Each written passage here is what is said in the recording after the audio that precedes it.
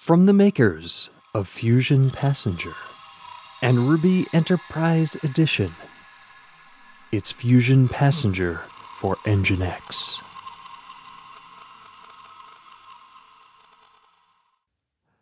Running Phusion Passenger for Nginx involves four simple steps installing a gem, running the Nginx installer, configuration, and then launch. First, run sudo gem install passenger. This installs the necessary Ruby code and C code that will later be compiled into your Nginx installation. Next, run the Nginx installation command. In addition to passenger install Apache 2 module, there is now a passenger install Nginx module command. This is the one you'll want. Be sure to run it with sudo. You'll see a standard installation prompt, including one extra step download, compile, and install Nginx as part of this process. Hit the number one in order to do that, or hit two if you're an advanced user and want to handle it on your own. This will actually download Nginx and by default install it into opt Nginx. In real time, this will take about one minute. It automatically discovered my existing installation of Ruby Enterprise Edition and automatically inserted the necessary configuration into the new Nginx configuration files.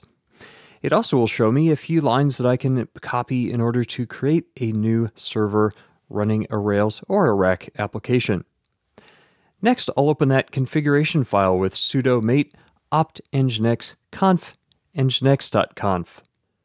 As promised, it already includes passenger root and passenger Ruby based on my existing installation of the passenger gem and my Ruby executable.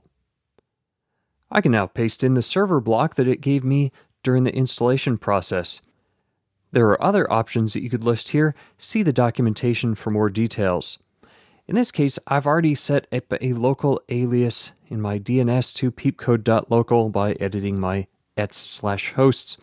I'll use that for the server name. I'll point the root all the way to the public directory of my Rails application, and because I'm running in development, I'll specify the Rails env development. Saving this will prompt me for my root password if you're using TextMate. Finally, start the Nginx executable, which is located at opt nginx sbin nginx. Open a web browser and visit the site that you just configured.